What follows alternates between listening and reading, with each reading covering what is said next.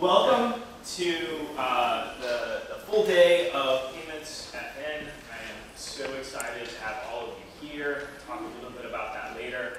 Um, we had a great turnout yesterday for the half day, um, but we're going to go ahead and run through, through some things, uh, announcements, etc., that we covered yesterday, because there will be some new folks here today. First of all, um, super excited. Registration at 102.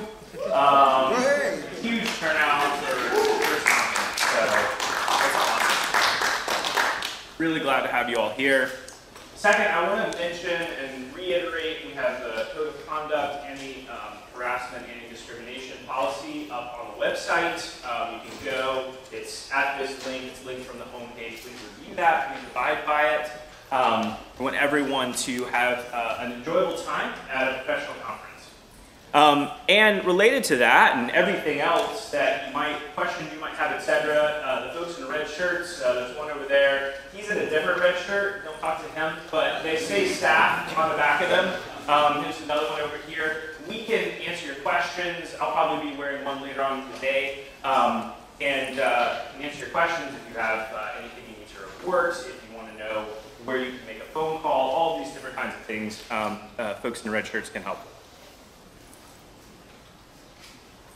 The Wi-Fi, um, that's the SSID and key. They're down here at the bottom of the next few slides, in case you're still trying to type, the main thing I would mention again is just that there's limited capacity there, so maybe hold it to one device on the Wi-Fi. Um, and if you're like updating, you know, pulling in some StarCraft updates or something, maybe do that on tethering, not on Wi-Fi.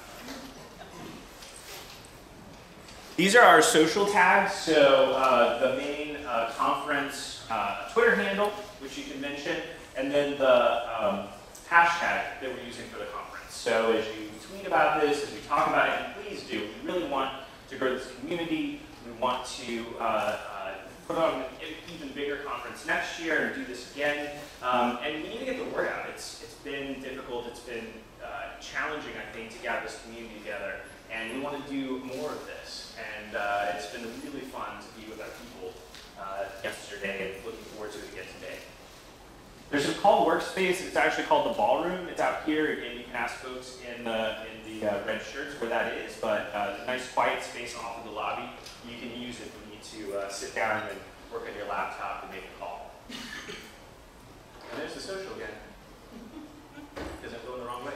Um, I also want to mention this door can feel a little awkward to go in and out of. Uh, there's another door up there um, with stairs down to the lobby, and actually the elevator also is up there. So if you want to enter and exit through there, you can also come down here. We won't we won't judge you. Um, that's totally fine. But if you if you want to make the street entrance and exits, there's a there's an entrance exit up in the back. We are having sessions recorded. Um, we really want to tell people that beforehand because we wanted them to come. Um, but we are going to get them up there, and uh, they're going to be on Confreaks under uh, the sort of standard Creative Commons um, recording license that Confreaks uses, and we're psyched to get them up there. We will let you know when they go live. And then the agenda is up on the website. Um, I'm not going to reiterate it to you. Quick rundown on lunch. It's at the Pit Restaurant. For those of you that went to happy hour last night, um, it's about the, it, you can basically see the pit from um, our office. So it's about almost exactly the same direction. Um, it is about the same distance. Um, we have, it's about a 10 minute walk. We encourage you to walk. Um, should be beautiful today. Um, but we also have Lyft codes for anyone that needs them. for both going there and we'll have folks with signs out there who can both uh, direct you and, and, groups walking over there, and also uh, someone with a sign if you want to take a Lyft.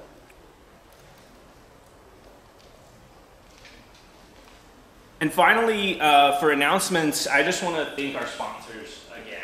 Um, we talked about them in depth yes, uh, yesterday, but BB&T, uh, local bank, um, is still doing actually some unique things in the payment space. Um, they're just down in Wilson, North Carolina. We've been enjoying interacting with them, and they were kind enough to sponsor the conference. Um, Google Pay, um, as we mentioned yesterday, uh, our support for, Spreedly support for Google Pay is now um, going into private beta, so if you want to get on that list, help us test it out, definitely uh, let us know. Sikich is our PCI DSS QSA, um, and um, we're super excited to have them here. Um, we've referred them out to uh, some of our different customers. I've heard good things back uh, from them as well. So definitely chat with Sikich. There are people too, they get all of this stuff um, and, and deal with it regularly when they're running audits. And then, of course, Spreedly. Um, we have uh, been super excited and super glad that we can sponsor and, and put on this, this first year of the conference. So I've been giving you all these announcements. It's probably, probably be good to introduce myself. Um, my name is Nathaniel Talbott. I am the uh, CTO and one of the original co-founders of Spreedly. Um, and I wanted to take a few minutes here before we get started with the, the, the, talks that you all came to see and just talk a little bit why about why I'm excited to uh, put on this conference, um, why I'm so excited that Spreedly has kind of gotten to the point where we can go and put this on, and uh, a little bit of the history behind that. Before I do that, though, I want to uh, send a thank you and a shout out to two uh, people that have really helped make this possible. One is Helen, and you will see her uh, out there. She has been tireless. The whole team has contributed, but these two people especially, Helen has been tireless in coordinating this, making sure we're all fed, making sure we're all in the right place at the right time, and all the stuff gets where it, gets where it needs to go. We want her to be willing to do this again next year, so if you enjoy the conference, um, please stop by and let her know um, that, that uh, you uh, enjoyed it and appreciated it. Um, I know that, that she will appreciate hearing that from you. And I also want to uh, send a shout out to Peter. We, he joined just back in February. and We said, we've got this conference thing we're working on, and we don't actually have anyone signed up for it yet. And we're kind of hoping you, as our first uh, uh, sort of uh, marketing person, that you will uh, be able to help us get uh, attendees and registrants. Um, and, and we even gave him the option of like, if you want, you can just push it back a year and we can wait. But he was super excited and he was super game. And most of you, uh, almost all of you are here directly or indirectly because of his efforts. As he said yesterday, he's the guy who emailed you um, and emailed you again. But we wanted you to come out. We wanted as many people here as possible. And Peter made so much of that uh, happen. So I want to thank him.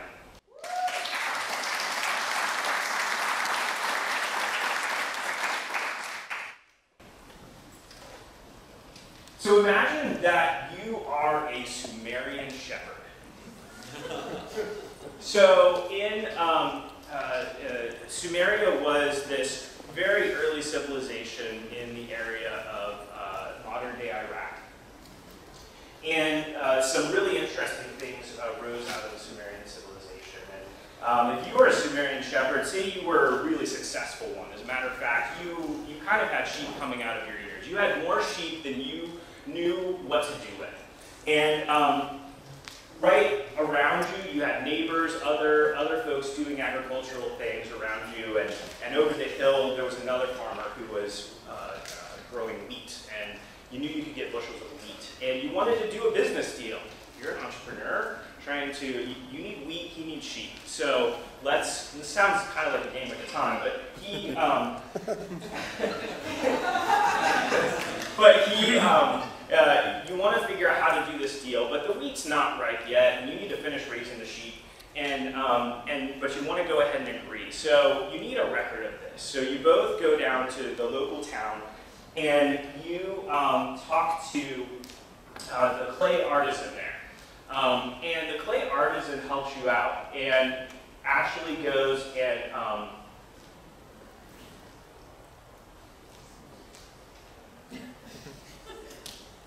helps you out with these, uh, craft some of these clay tokens. So uh, each uh, token, you would have had tokens to represent the different commodities. So you would have had specific tokens for wheat and for sheep, and they would have been in different denominations. So uh, one that represented one sheep, one that represented five, one that represented ten. So you get these tokens, you get them fired, and then you do your deal with your farmer friend and you each kind of get your pile of tokens that represents the deal. So say it's 35 sheep for 28 bushels of wheat. You each get piles of tokens that represent those amounts.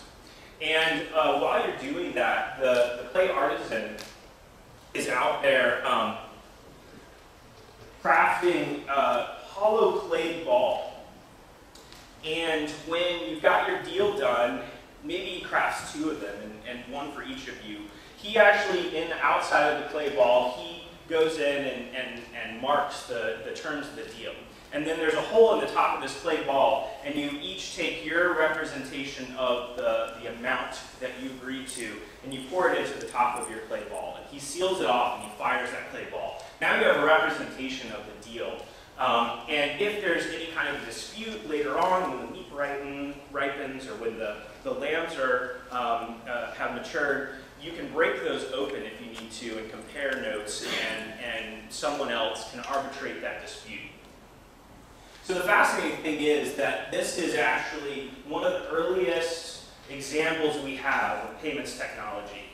Um, these are the prototypical payments engineers trying to figure out how to solve problems that they had in their businesses and their lives. And the things didn't stop there, right? So those tokens, those clay tokens, they eventually became coinage. And these are shekels, and, but we're all super familiar with coins. Here's a thing that we use every day in our life. And, and uh, we can trace them back to these clay tokens. And that um, clay ball, that actually became what we think of as a, as a seal, or uh, sort of the modern representation, that would be a signature.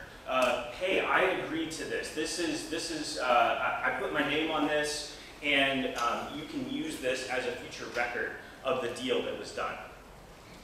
So um, these are like things that we take for granted, but it actually goes even further than that. Get this. So the clay tokens have these representations of like different amounts of, uh, of commodities.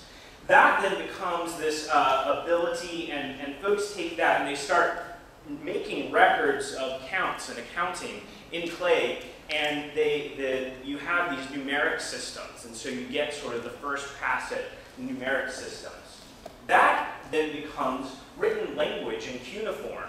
And so out of payments technology, you end up with writing. You end up with civilization. And it comes from um, this desire to be able to do commerce and to do it um, efficiently and to do it well. So I take two um, sort of conclusions from this. The first one is that um, payments technology and payments engineering, it actually matters. It matters for the world, it matters for history, it matters for civilization. Commerce is, is one of the fundamental ways that we interact with each other. Two people with uh, things of value that they've created, being able to exchange that uh, to mutual benefit is huge. And it underlies our, our, our ability to relate to, to, to have lots of wonderful um, things and food and, and other things to be able to produce um, in, in specialized ways and then exchange that production. And payments engineering is actually, uh, and payments technology is a key idea, uh, part of that. And it has the potential to impact the world like on an ongoing basis in ways beyond just payments and commerce.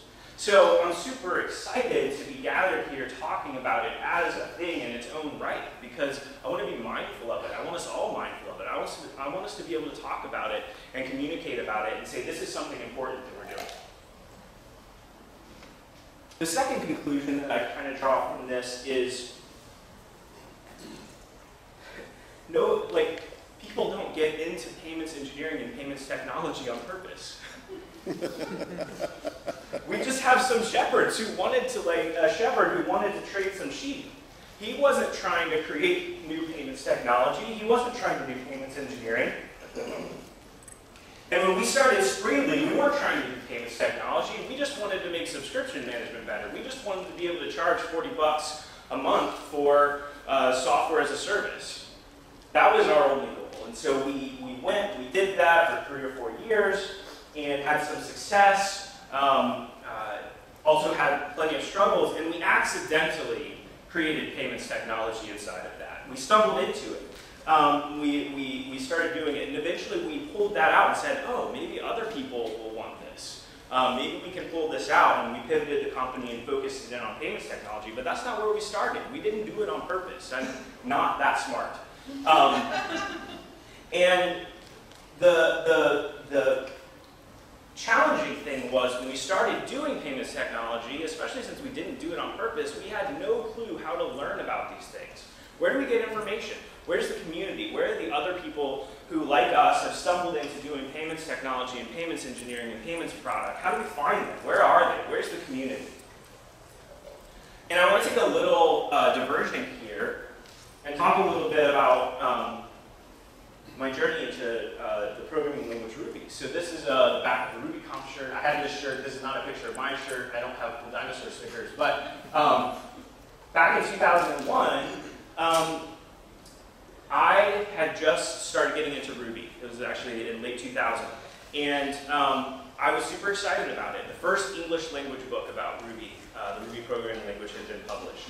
And I found the mailing list, and the English language mailing list, even the creator of the language, who was Japanese, he would get on there and he would talk about the language, he would answer questions. The folks who wrote the book would be on there. Um, it was an amazing community. I learned so much, and then eventually we decided to put a conference on, and we gathered um, uh, lots of people from all over the place into that conference.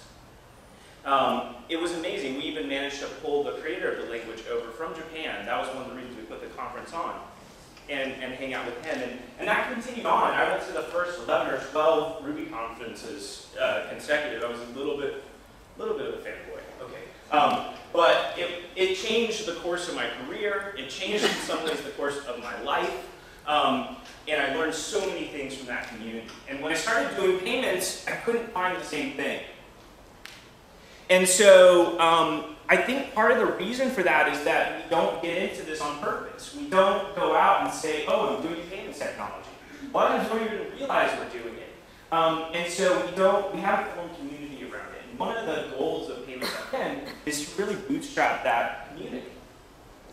We want to um, gather folks in and we want to start building a community of people doing payments technology, payments engineering, um, and, and payments product.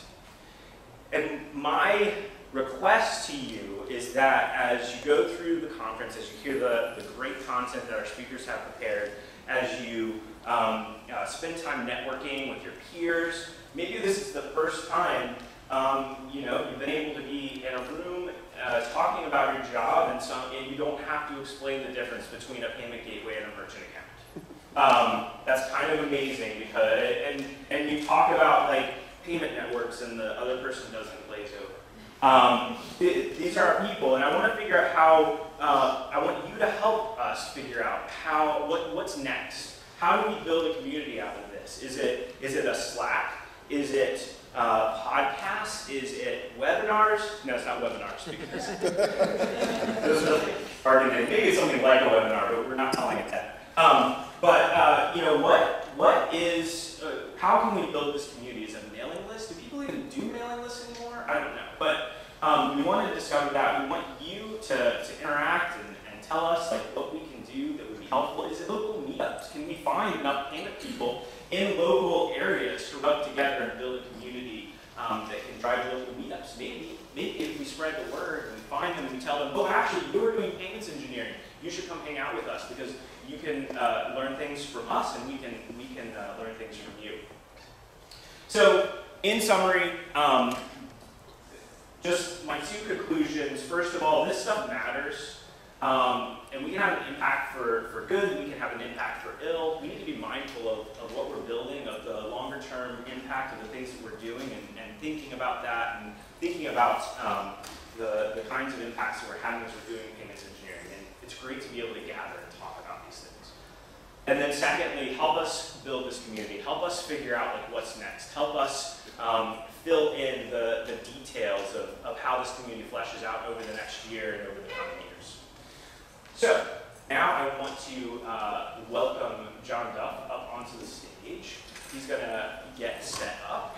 Um, and uh, speaking of community, one of the, I think, the best examples of open source payments technology that we've had to date has been Active Merchant. And that was a huge impact for us at Spreedly. So I'm really psyched to have John come up and talk about the early days of payments at.